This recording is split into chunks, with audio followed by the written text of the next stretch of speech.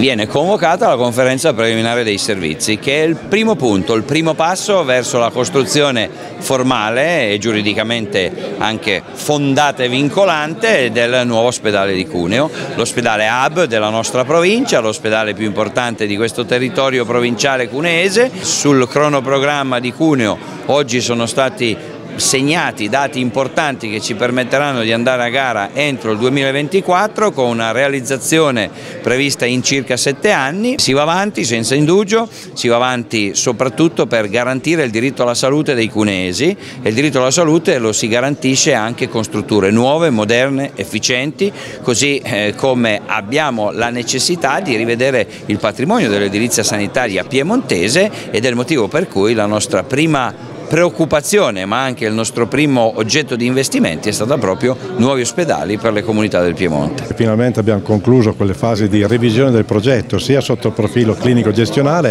gestionale che sotto il profilo finanziario. La, il soggetto proponente ha dato a disponibilità la modifica del PFTE quindi noi stiamo partendo con la conferenza preliminare dei servizi, parallelamente abbiamo un percorso al Ministero per l'utilizzo dei 150 milioni a fondo perduto destinati all'ospedale di Cuneo, insomma due percorsi paralleli che ci porteranno, io mi auguro entro fine anno, a vedere bandita la gara per la realizzazione del nuovo ospedale hub della provincia di Cuneo.